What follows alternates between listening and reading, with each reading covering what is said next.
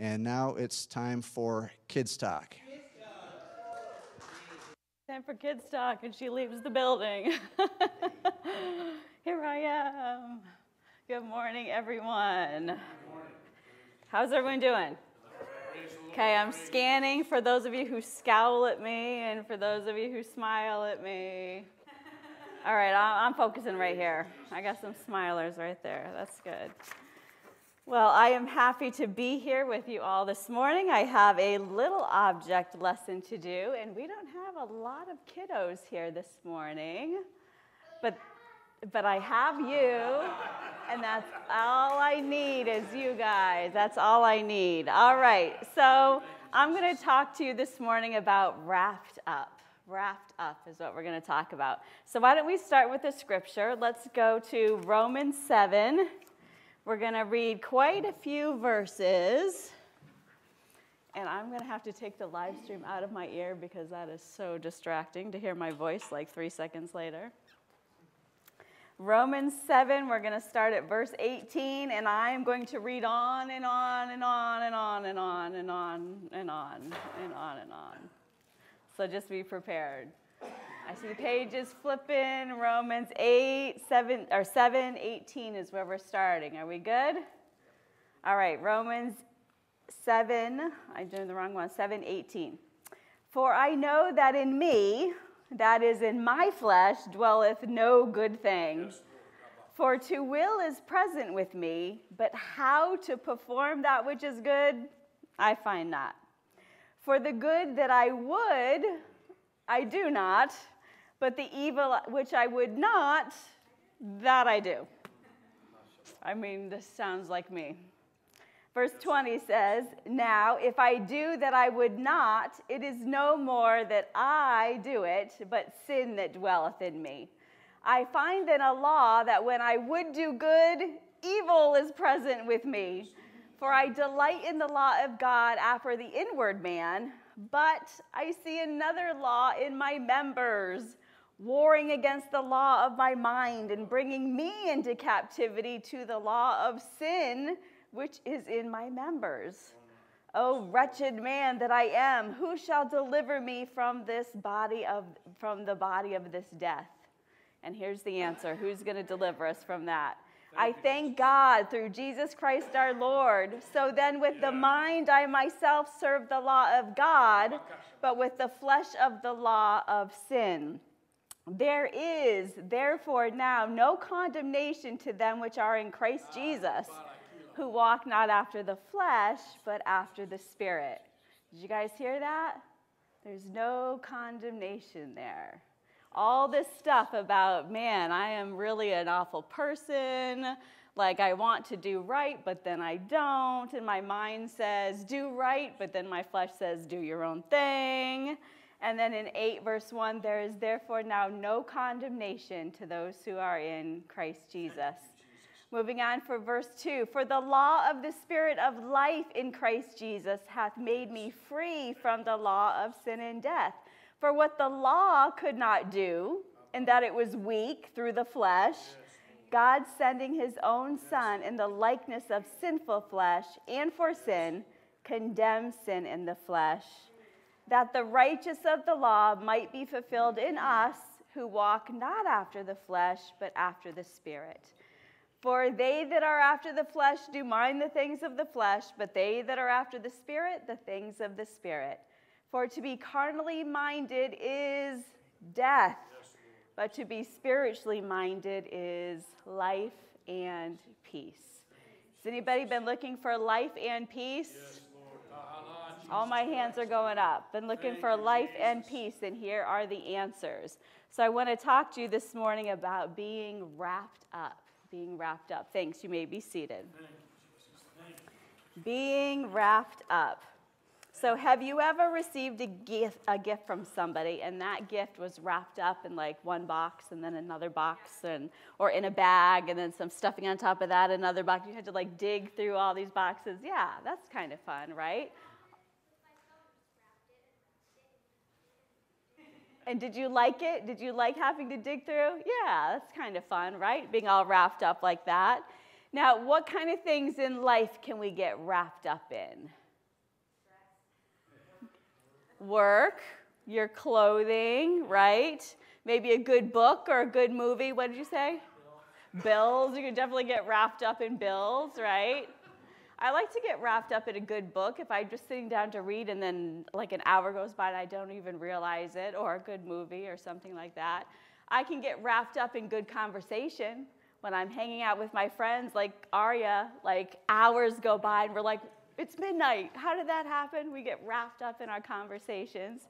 So sometimes it's good thing, a good thing to get wrapped up in a hobby or something you love or things that are good for you. But when you do get wrapped up on something, usually it comes on quickly and you weren't prepared for it. It wasn't something you set out to do. You didn't set out to get wrapped up and completely engulfed in that situation, but you did.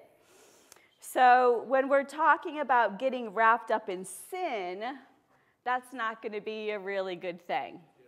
It's not like a hobby or a book or a conversation that you get wrapped up in, but it's the same concept. It just kind of happened all at once, and you didn't realize that you were getting wrapped up in that. So I'm going to need a volunteer to come up here and be my table since I didn't bring my table. David, come on up. Your hand shot up first. And we're going to talk about being wrapped up. So stand over here, and I'll let you be my table, all right? So here we got some, hold your hands out. I've got a yellow paper first, right? And then underneath, what color paper is this? Blue. Blue, but look, something else is wrapped up in it. What do we have? A pink paper. A pink paper wrapped up in that one. Let's keep going. What do we have? Green. A green paper wrapped up in this one. And in the green is nothing. Nothing, nothing is in my middle green one. So if I'm using this as an object lesson, these, green, these papers, the green, the pink, the blue, and the yellow, these are sin. And I here am a very valuable, you can tell how valuable bills are in my wallet, $20 bill. I'm a very valuable $20 bill. This is my life right here. So if I fold up my life and I get wrapped up in a sin situation, Usually, sin doesn't just come in ones. What usually happens as soon as one sin happens in your life? All of those, that's right. You get wrapped up in more. So, kiddos, let's think about this. If you're home and you tell a lie to your mom and dad, um, I cleaned my room so I can go out and play. That's a lie. So we just wrapped, wrapped your life up right here, and that one sin got wrapped up. But then what happens? Do your parents just say, oh, okay, go out and play? Usually they check it because parents have been there, done that before. So the parents come and they look in your room and they're like, um, David, your room is not clean. You said your room was clean and it's not. And then what do we do? Do we just stay with the first lie or do we try to fix it be like, oh, I'm sorry, okay, I'll clean my room? No, what do we do? run, run. or we add another little lie on. Well, I clean most of it. Well, most of it is clean. Some is clean, like I put my clothes away. And you get a little attitude going. And then your mom, if she's wise, looks under your bed and is like, Oh, you put your clothes away, did you? There they are under your bed. And now another sin kind of gets wrapped up in here. And see, every time you do that, see how you're kind of turning your back on God? Every little time you add something to that situation. So, that situation, here we go. And now my mom has said, Oh, I see the clothes under the bed, and I wrap that up in something else, which is usually a little bit of sass. Well, it's not fair that I have to clean my room. It's so beautiful. All my friends are going out. How come I can't come out I can clean my room later? You're so unfair, mom. And now we've got sass that has turned our back on God, right? Another turning, another thing. And then maybe your friends text you or call you, Where are you? We're outside playing softball. How come you're not out here? and then you wrap it up in another thing and be like, my mom is such a jerk. She won't let me do X, Y, Z. I can't come out because I have to clean my room, and I already cleaned it, but she's so perfectionist. I have to like dust and sweep and do all this stuff. And look what's happened. From one little piece of your life, that $20 bill that was valuable, that was good, that God had given in your life, you just wrapped it up in sin, right? Wrapped it up, and that's not what we want. And that happens to us as adults, it happens to us definitely as teenagers. It doesn't just become little lies that we wrap up in, but it becomes one sin, one thing that we think we want to try out just to see how it is, and that leads to something else, and we just get completely wrapped up, completely wrapped up in our in our sin. Can you hold those for me again as we unwrap? And then as we think we're having such a fabulous time with all this unwrapping, with all this doing all these things that we want to do and adding to our life, when we get back to see what's happened to our life, when we finally get down to the nitty gritty, I'm going to keep putting them right on. When we finally get back down and we go to take out the value of our life, where is it?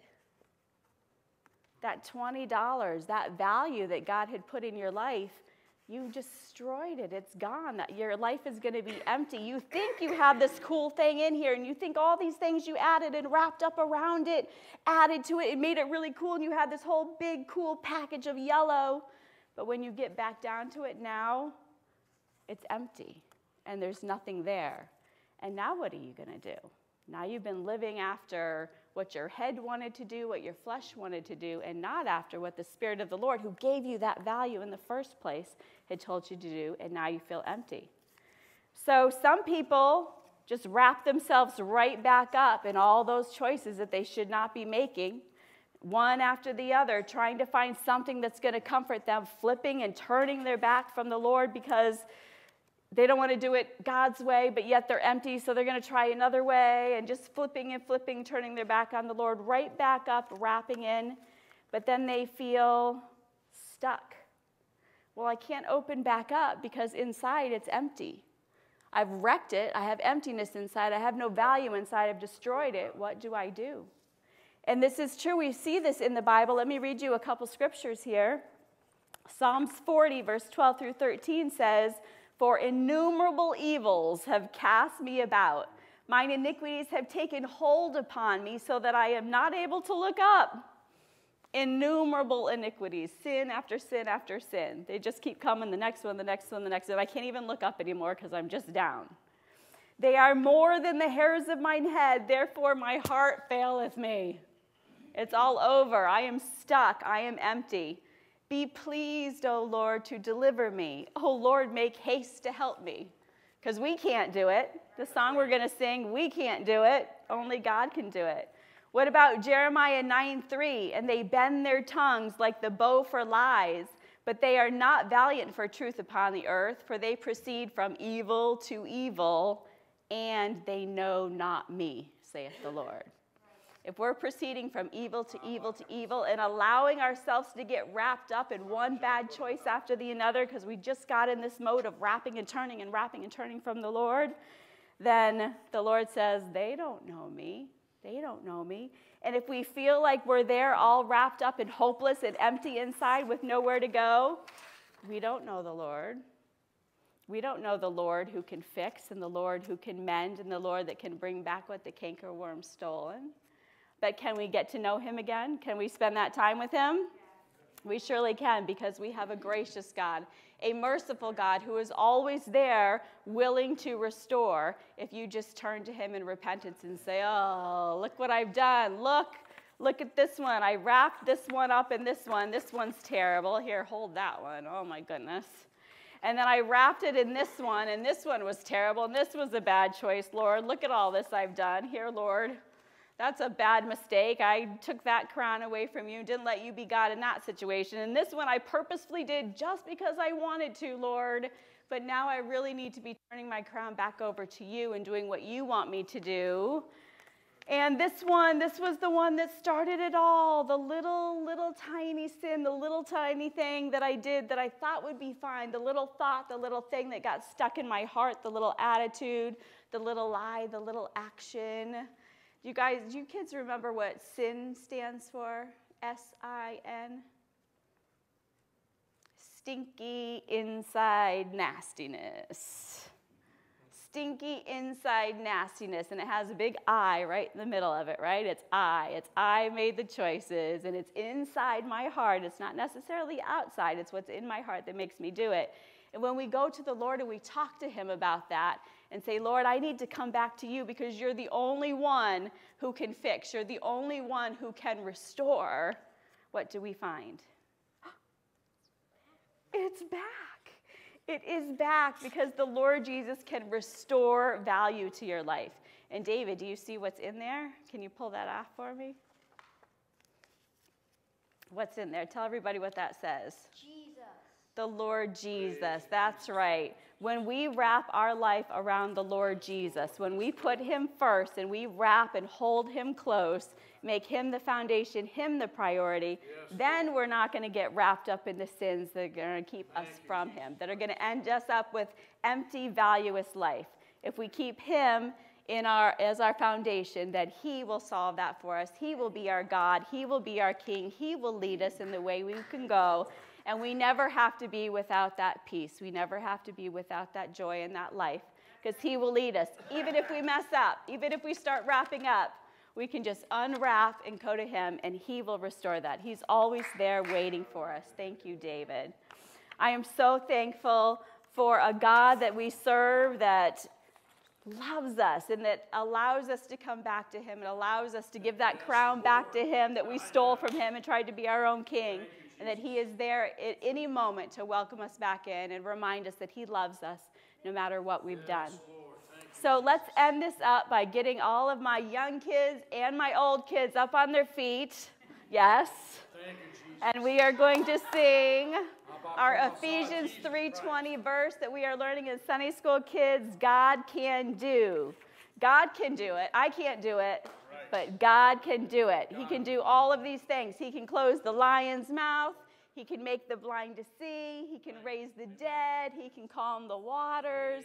He can do all of these things. God can do it way more than what we ask or think. Our minds are finite. We don't get it. We just see right here and now and are trying to fix stuff. But God can do it.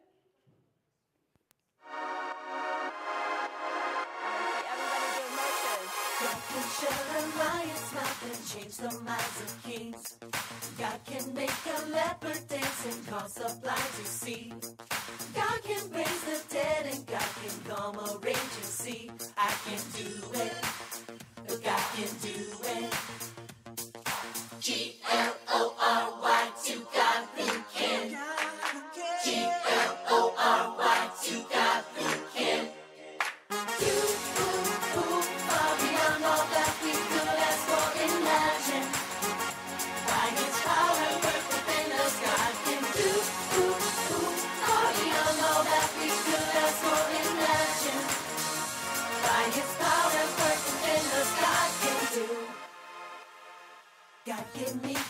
Compassion when I see someone in need. God please give me courage in the face of enemies.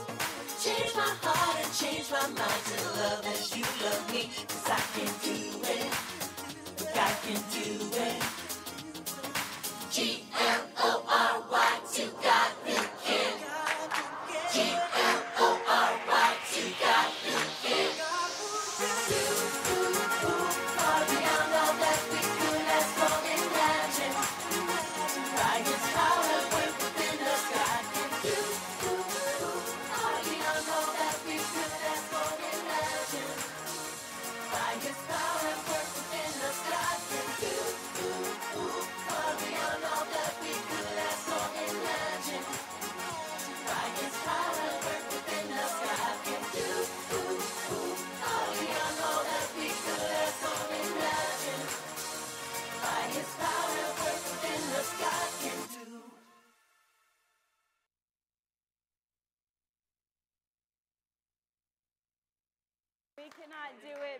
God can. Thank you for your attention, and you may be seated. It is good to be home. We came back from a brief stay in New Hampshire and getting back into the rut of normal life. And it's been convoluted and you know, the typical wear and tear getting into it. But it's not until coming into the house of God and worshiping does everything feel normal again. Gathered together with his people. The message I have this morning, uh, I was given on the write up. I was really hoping for a couple days of just quiet and read some books. I managed to read the books, but the message came to me as a question. And the question was why do you want a full glass? Now, that might seem very awkward. We were singing, one of the songs was, I hunger and thirst for your righteousness. And the question that burdened me the entire trip was why do you want a full glass?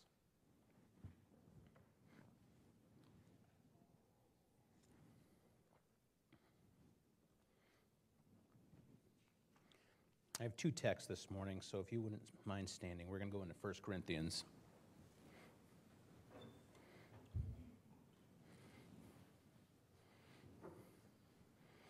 I'm hoping the glasses have a pink tint to it.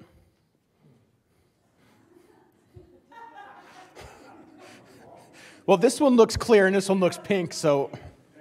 But either way, I want to make sure I got plenty for when I need it.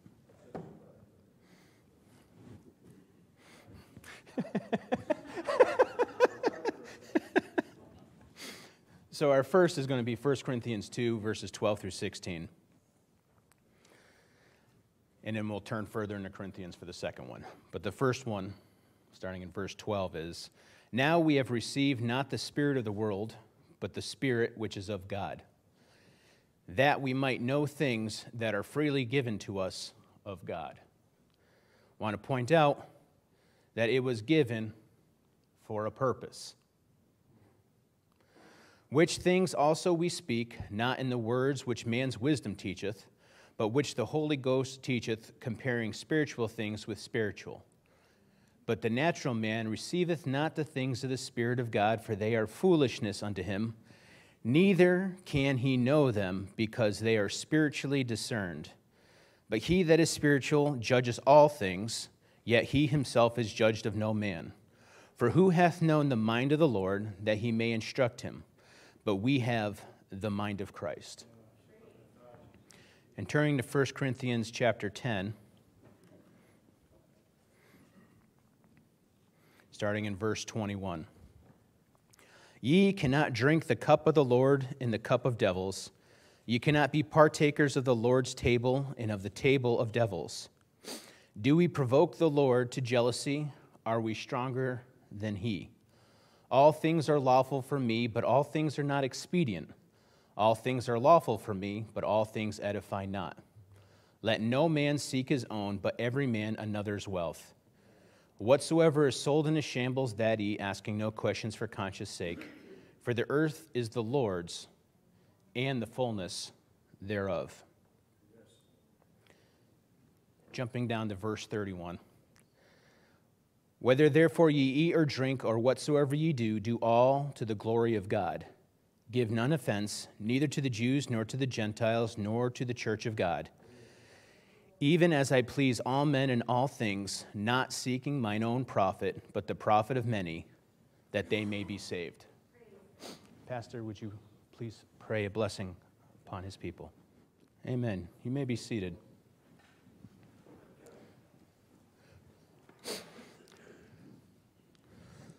So, Paul's letter to the Corinthians was for a def- definite purpose. Duh. Who writes a letter if there's not a purpose? But the specific purpose was For it hath been declared unto me of you, my brethren, by them which are of the house of Chloe, that there are contentions among you. The Corinthian church had contentions, divisions, split of thought. 19 and 20 says, For it is written, I will. Sorry, someone wrote my notes, in their horrible writing. now, this I say that every one of you saith, I am of Paul, and I am of Apollos, and I am Cephas, and I am Christ. Is Christ divided? Was Paul crucified for you, or were you baptized in the name of Paul? See, there were some contentions about who was their authority, who was teaching them, what was the right thing being taught.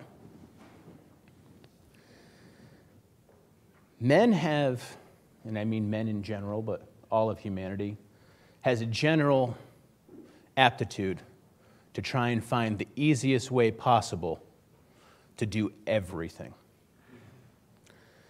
There's 10 minute abs, 9 minute abs, 8 minute abs, 7 minute abs, 6 minutes, and then just skip it all together and go to Burger King, buy one, get one free. it sounds great. What about children? They like the easiest way. I'll ask mom. If mom doesn't give me the answer I want, then I'll go see if dad will give me the answer. And hopefully, dad's distracted enough that it's, yeah, yeah, whatever. And I can do. I learned early on the wisdom of it's okay with me if it's okay with your mother. That way, there's no conflict of what the direction is. Unfortunately, kids are smarter than that and take on the I'd rather ask for forgiveness than permission.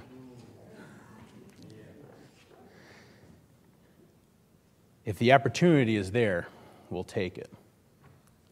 There is a phrase that I used at work when there was a circumstance, and there was a choice being offered for an individual. And everyone else goes, There's no way this person will take option B. There's just no way. It's too detrimental. And my response is, I think you're wrong. Because a drowning person will grab whatever's in their reach, even if it's a snake. And sure enough, option B was taken, and this individual was bitten by their choice. Because whatever harbor in a storm, whatever's easiest, whatever gets me out of trouble quickly. It didn't help that the church had taken on the culture of Corinth. That it wasn't a church standing out, but it was a church that had become among. And the philosophy of the Greeks was the sophists, sophistication. And a lot of it wasn't to be correct, but to appear correct and sophisticated enough that no one challenges you. Unfortunately, it's still present today, isn't it? If you look the part and act the part, they'll believe whatever you give them for an answer, whether or not it's right or wrong. And that's why you find real teachers who say, go in and dig out truth for yourself. You don't take what is handed to you on a platter without thinking about it without digging for yourself to make sure it is right, it is true, it is the correct thing for you. One of the things that was said of, I believe it's Protagoras, was of all things, the measure of men, or sorry, of all things, the measure is man. Of the things that are, that they are. Of things that are not, that they are not. Let me paraphrase in plain English. If I don't think it's the truth, it's not the truth. I dictate what's true. I dictate what's right. I dictate those things that are appropriate. It is my truth. I'm going to tell you my truth. I'd like to think that it stopped many years ago that it's, oh, it's philosophy. That's, you know, in the past. It's not. I had teachers, I'm dating myself, 20 years ago that said there is no truth. Truth is what you make of it. Truth is what you can act sophisticated enough to make people believe you. And all that does is bring confusion, disorder, chaos. Because no one really will agree on anything. I know this because I have two girls that share a room, and it's painted two different colors. Two walls are purple, two walls are pink. Because it was easier than fighting with them about a mutual color. what happens, though, when everyone wants to paint everything in their own shade? Truth becomes irrelevant. Real truth becomes lost. Real truth stops mattering to those who declare their own. But the truth is always there. The Lord Jesus Christ doesn't change, He is true. But the perception of man says, I haven't seen it. If God is there, how come this, that, or the other thing? How come, how come, how come any objection to what is really true? Because if something is wrong, then it has to be fixed. Right? If you have a flat tire and your car's pulling to the side, you got to fix it. Otherwise, it's no longer a working car. Society says just rename it as a tricycle and keep going. You'll get to your destination.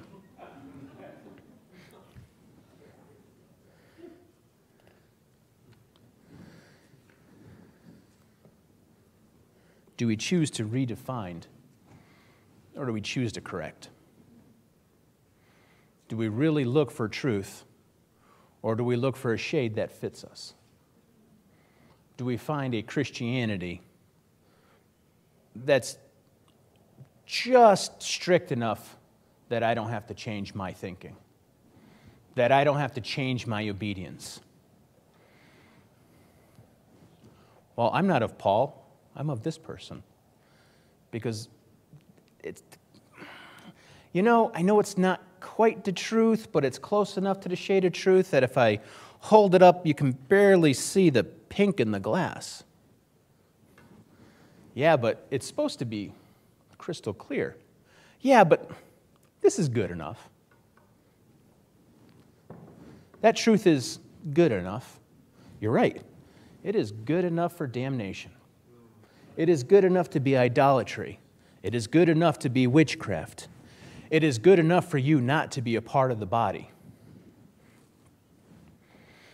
The body works together when all things work for the common and correct truths. And Christ is the head of the body. If the body says, well, no, I'm just going to do my own thing, it's no longer a part of the body when the white blood cells decide, I don't want to just take care of bad things, I want to start attacking good things. Because, yeah, I know they're good things, but I, I don't really like it. It's not really my cup of tea. You end up with leukemias, where your white blood cells want to attack everything that's good.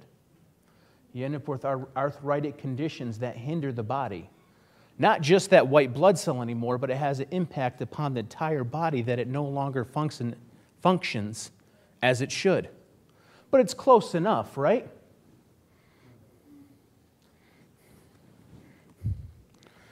Well, our doctors will tell it's close enough. Oh, you got arthritis? Take some Advil. It just it happens with age. Things break down. Not with our God, it doesn't. See, because He sustains, He is perfection.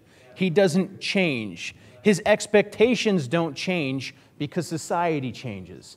His expectations don't change because we don't want to see what He's trying to show us. We are responsible to see it. His truth. In 2 Corinthians 12, it talks about that division in us our mind versus his mind. our flesh versus his spirit. And that he has given it, his spirit to us, that we might know the things that are freely given, that we might know him, that we might know his truth in revelation that has been freely given, redemption that has been freely given, the things that he has freely shown. But if we don't have his mind in us, close enough is good enough. Which things also we speak, not in man's wisdom.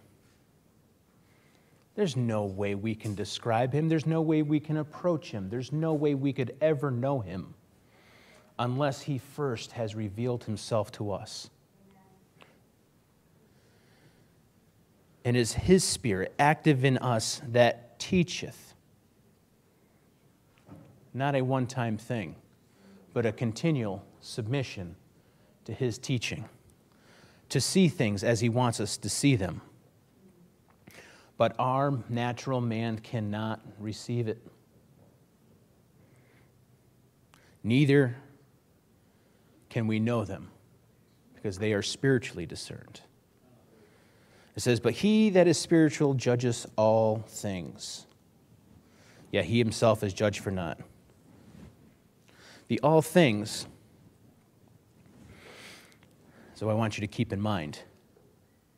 For who hath known the mind of the Lord that he may instruct him?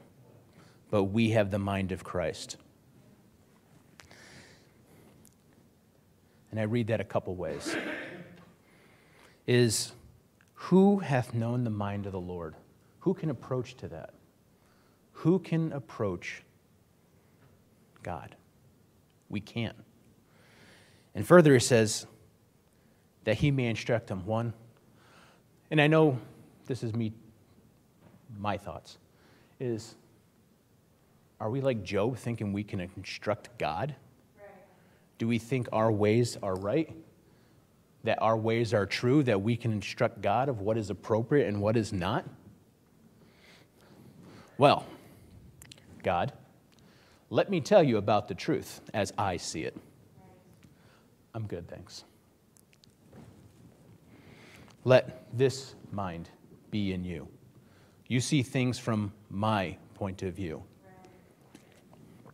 You see my authority. You submit to my authority and I will guide you.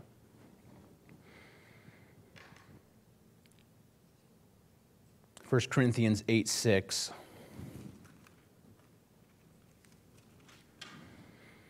says, But to us there is but one God, the Father, of whom are all things. And we in him, in one Lord Jesus Christ, by whom are all things and we by him. And in verse 23 of chapter 10, we, we read, All things are lawful for me. Why are all things lawful for me? Because if his mind is in me, if I am using his spirit to discern, if the Holy Ghost is teaching me, then all things are lawful because all things are under him and by him and for him. But all things are not expedient. Not everything that's lawful for us gets us to where we got to go. I also enjoy a good book. Love it. I say I got three done while on vacation. I think that's three more than in the previous year. but what if that takes over my life? What if I'm reading things that are contrary to His Word? What if I'm reading things that don't help me know Him better? I'm not saying Star Trek is going to help me know Him better because sometimes, you know, you just want to read a good sci fi book. But the fact is, is all things doesn't help us along the path. It doesn't expedite, make it faster, make things go. Those things we need to leave behind because if they're stopping us, if they're preventing us from moving forward, we don't need them. Might be lawful, but we don't need it. Also says, All things are lawful for me, but all things edify not. Not everything is acceptable for building. Don't believe me? Go to Home Depot and find out wherever they get those two by fours from because they are not straight. They are nothing I want to build with. I think if you string one of them up, you could probably make a bow and arrow without having to do any wood bending. That's, it's not good material. I don't want to build with that. I don't want it part of my structure. And the things that might be lawful, I don't want them part of my life because they are not going to get me to the structure that I need. They're not going to have me build upon the foundation as I should.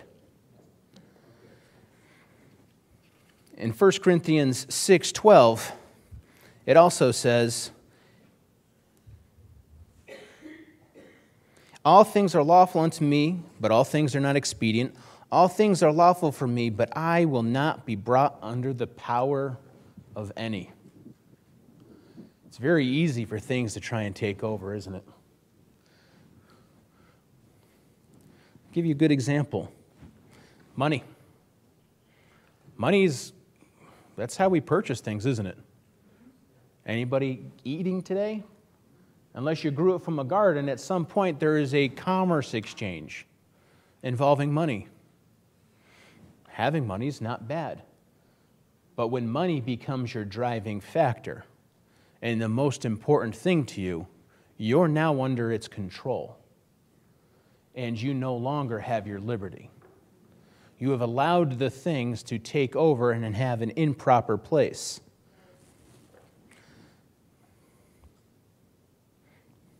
just in case.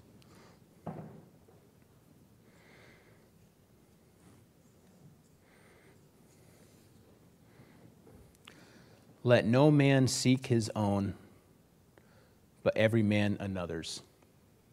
And it says wealth there, and wealth is in italics.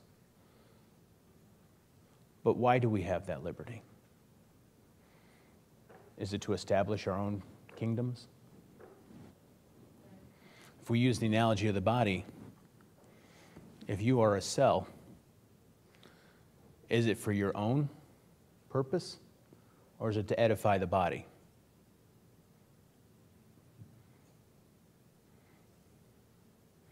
We want to fulfill our purpose. A cell that doesn't fulfill its purpose isn't always benign. At best, the things that we find are benign. Most of the time, when things are no longer fulfilling its purpose, they're cancers, they're problems, they're tumors, they're prohibitive. They drain the energy that the rest of the body needs to survive. Individual kingdoms are not wanted. Our liberty is not to build up our own.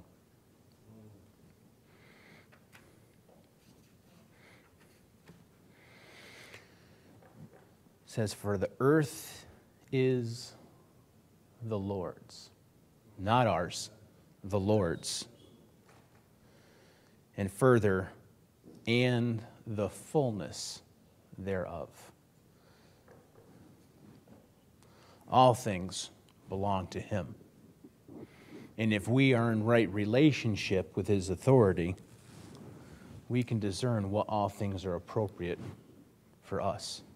Our liberty is the ability to have right relationship with His creation and with Him, to demonstrate His lordship in our lives, not our own. It says, Even as I please all men in all things, not seeking my own profit. It's a good start. but the profit of many, that they may be saved. So, how does any of this answer the question why do I want a full glass?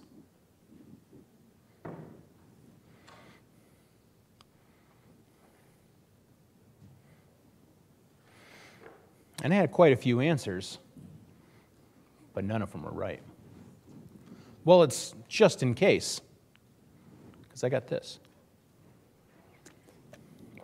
In case I get worn down enough, Lord, I know that I got a spare glass here. So that if I feel worn down, I know I can turn and I got a backup cup here. So whenever I'm feeling not worthy enough, I can just praise you a little bit and mm, glad I got that full glass. I want to make sure I fill it back up so that I have my emergency reserves. You know what? Not the right answer. But Lord, I only I only need it on, you know, Monday, Tuesday. I can make it through most of Wednesday to service. I have a reserve here. That's not a good reason to have a cup. Well, Lord, ain't I supposed to have a full cup? Shouldn't, shouldn't I have a full cup at all times? Shouldn't I always have you ready on hand? Not just emergencies, but I always should be ready with a full cup on my person to demonstrate your lordship in my life? That wasn't the answer either. And I knew these were horrible answers. and, and I know the conclusion of it was going to be well, tell me. But there's something about the path of least resistance where if I pretend to think about it for a day or two and throw out an answer, maybe I'd throw them off my trail.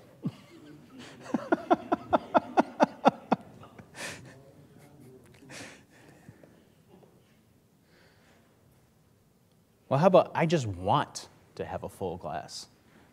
When I go to the restaurant and ask for a cup of water, I just say, very thirsty, keep it coming. Lord, I just want a full cup. Isn't that enough? I just want it. No spiritual side about it. But this full cup that I carry around shows that I'm doing what I'm supposed to. Look at my privilege as a child of God. I have a full cup. You know what? That wasn't right either.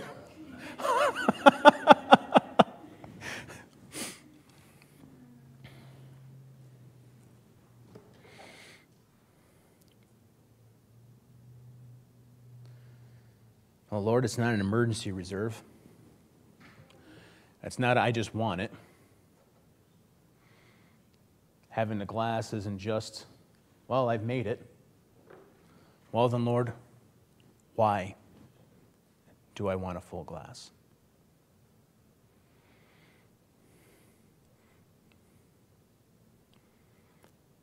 Because it's the start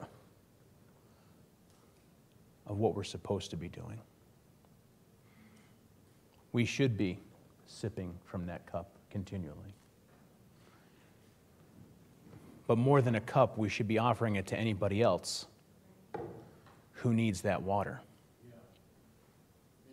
Lord, give me the cup so that I can be sustained and provide water to anyone else who doesn't, anyone else who is thirsty.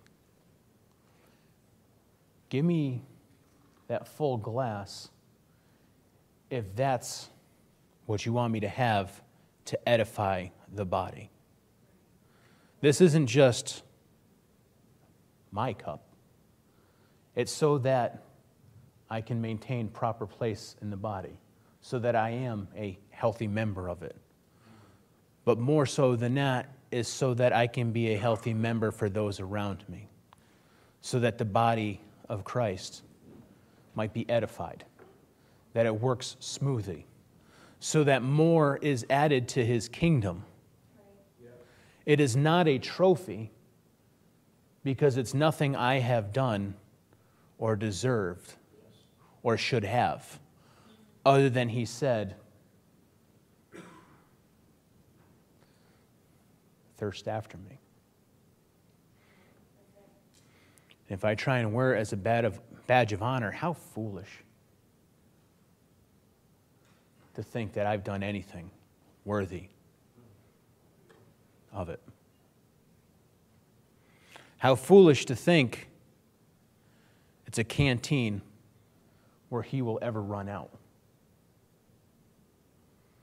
Foolish to think that I would ever be far enough from him that he couldn't reach out and fill my cup whenever it was needed. That instead of having it give me life continually, that I wanted to fill it with my own separate reserve of my thinking instead of what he wants from me.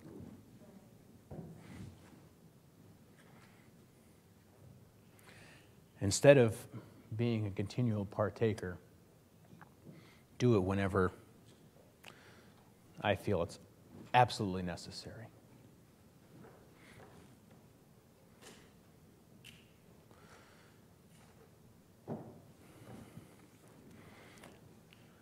And the part that struck home the most to me is who else are you sharing it with? What good is it to have his mind and his understanding and his teaching to be overflowing with his mercy and hoard it for myself? This is my water. This is why I want a full glass. Are we examining why we seek him.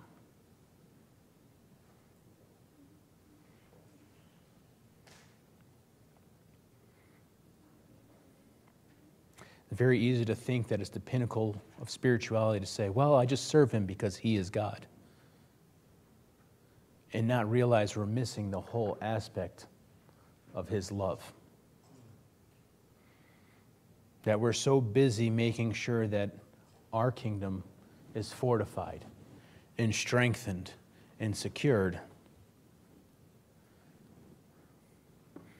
that we're no longer adding to His. That we're walking around with potential that is never used.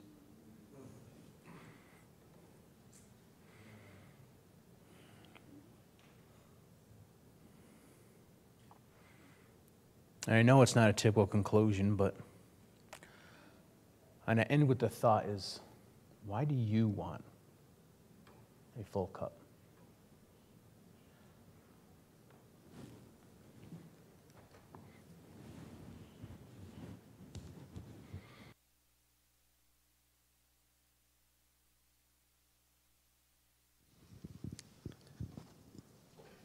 Praise the Lord.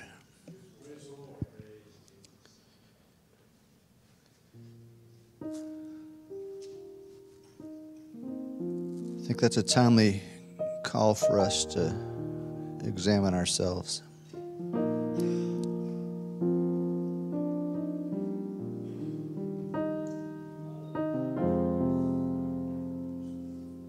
I'm not going to repreach. So why don't we take a moment and let's go before the Lord. I feel as though He's spoken to us today. Let's take a minute to respond to his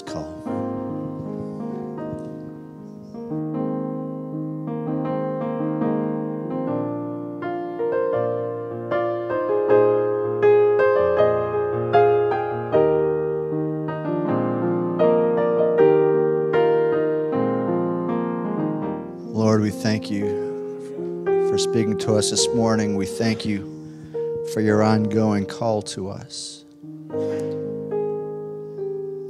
Lord, we want you to be that overflowing fountain within us that would flow through us into our community, into those around us. Not for what you bring, but so that it might bring glory to you. We thank you for it in Jesus' name.